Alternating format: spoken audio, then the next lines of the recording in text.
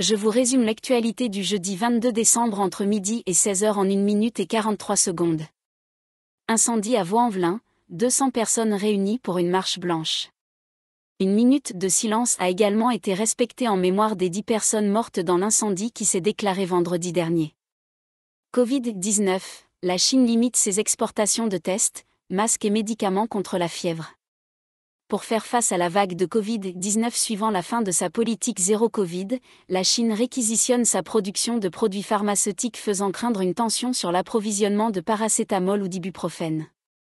Le fétichiste des pieds simulait des pannes de voiture pour faire conduire ses victimes. L'Espagne vote une loi transgenre qui divise la gauche. Cette loi permet de changer librement de genre dès 16 ans. Elle doit être votée ce jeudi en première lecture, et elle divise parmi les féministes et la gauche. Israël, Netanyahou affirme avoir formé son gouvernement, l'extrême droite en force.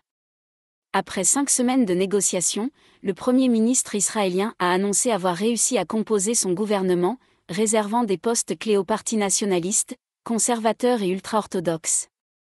Guerre en Ukraine, la Russie vise la capture totale de la région de Donetsk le chef d'état-major Valéry Gerasimov galvanise l'idée d'une libération de la région de Donetsk à l'est de l'Ukraine. Une zone dont la Russie revendique l'annexion avant même de l'avoir entièrement conquise.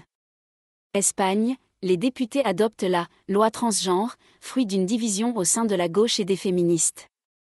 La loi pour les droits des personnes transgères est finalement adoptée par le Parlement espagnol, après des mois de tension. Reste encore à convaincre le Sénat dans les semaines à venir.